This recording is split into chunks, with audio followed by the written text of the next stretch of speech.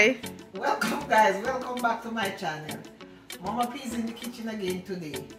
And I will be making some fish tea soup. Nice. I know this is the summertime. A lot of people don't drink soup in the summer, but we like it. All right, so tell me, what's the ingredients? Okay, so here's my fish. I have some fish head here. Three pounds. Yeah, my pumpkin, carrots, celery, chocho, or they call it chayote here in America, and my turnip. Here I have five cloves of garlic. I have a corn, some yellow yam, Irish potato, scallion. I have green bananas, and I have uh, the fish soup. I have the adobo, complete season, some grace, fish season, season salt, and also I'm gonna put a few dumplings in there for my daughter here. She loves dumplings. Okay, here I have the water boiling already. So I'm going to put in my five cloves of garlic. I'm just gonna crush them and drop them in the water.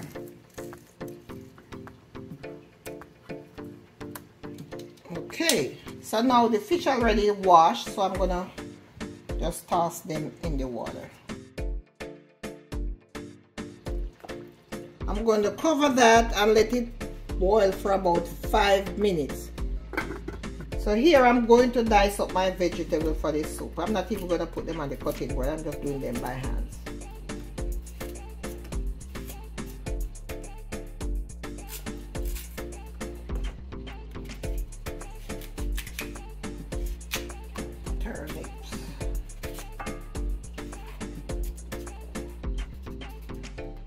And the pumpkin is optional guys. If you don't want to put pumpkin in your soup, you don't have to put it in there. But I like it with the, with, with the pumpkin.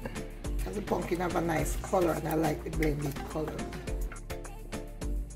Okay, so now I'm to leave this for a few minutes.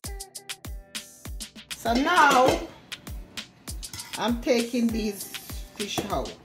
Because I'm to debone them and put them right back in later because I don't want any bone in the soup so that's why I do them like this. I just want us to eat comfortable. So now I'm going to put my I'm going in with my vegetables. And I'm going to leave those to boil for about 15 minutes while I knead the flour. I'm going to put a pinch of salt in there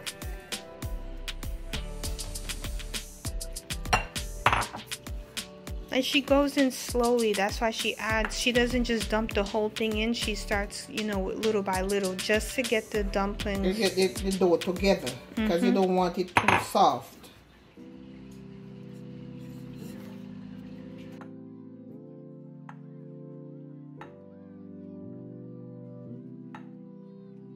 Oh, so now I'm finished kneading my flour. I'm gonna cover it up.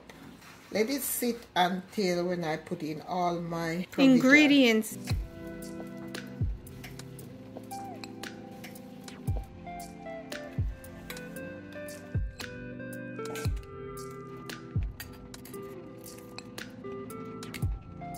You don't want any bone in your fish when you're drinking your soup.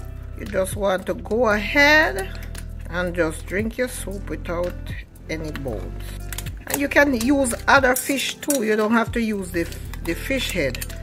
But I like to use the fish head because the other fish have too much bones. And if you're going to do this and use the fish head you want those big fish not those tiny fish head big fish. Like this is a grouper head. So I'm just gonna cut them in small pieces now. Let me get my knife. Okay so now I finished debone them so I'm gonna cut them in small pieces and just leave them until I'm ready to put them right back in my soup.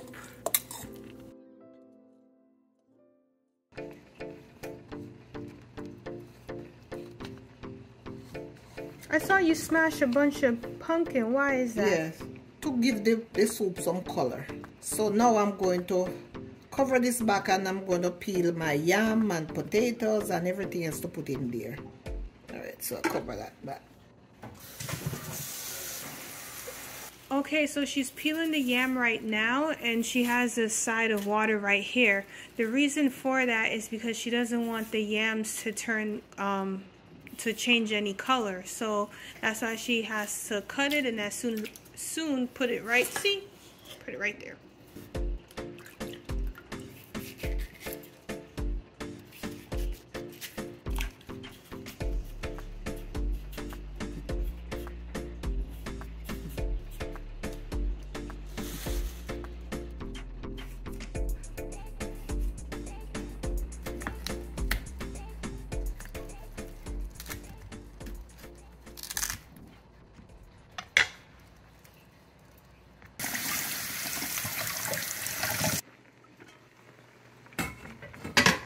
Look at that. You see the pumpkin? Yeah. Isn't that a nice color?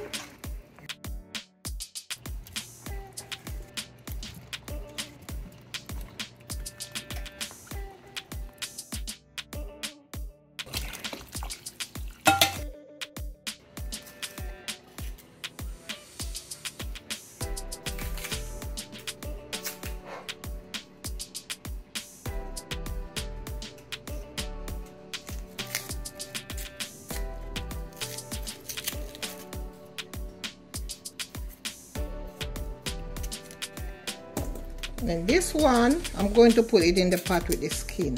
Why? For the iron, to get the iron from the banana skin.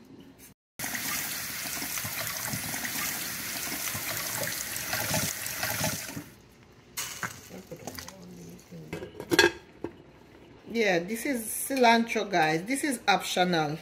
Some people don't like it, but I like it in my soup, so I put it in there. So, and I forget to tell you about the butter.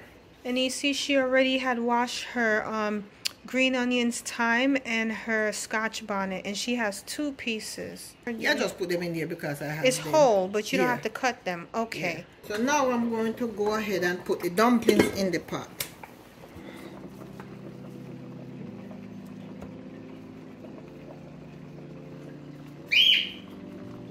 Excuse my bird. He loves to make a lot of noise. For all those people out there who have a pet, you understand. Yeah, he loves to chirp.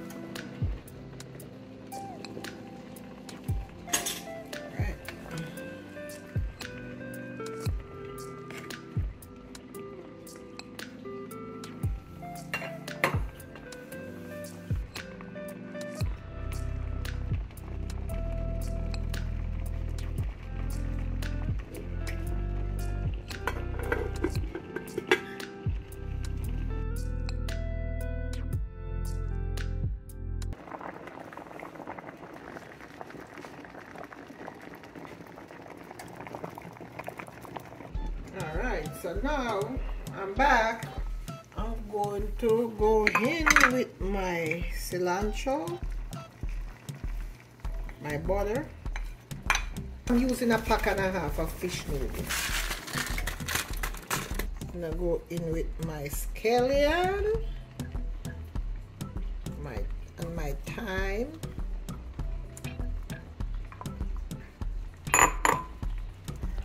So I'm going to cover that for a little bit. I'll be back in another 10 minutes.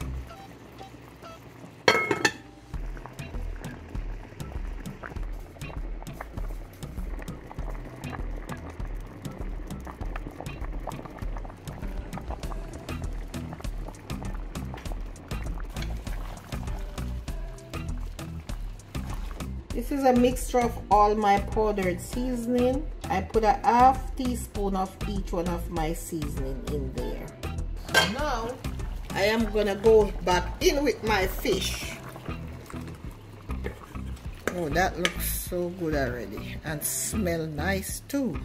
So the way I do it, when you finish, you can have some fish to heat and you can eat the food and drink the soup. Let me put a little more hot water in there. A little bit more at water. So I'm gonna leave that there for about five minutes and I'm gonna come back and taste it. Okay, I'm back. Backity, backity, back. Okay, so now I'm gonna taste my pot to see if it's okay. Okay, that would take a pinch of salt. That looks like more than a pinch. And I'm going to leave it there like for five minutes and then it will be ready. And just to let you know, guys, you see how she tasted and that's why she added salt. Whenever you um about to taste your soup, if it needs a little bit of more seasoning salt or salt or whatever, you know, you just season it to your liking. All right, five more minutes. Yes, and it will be ready.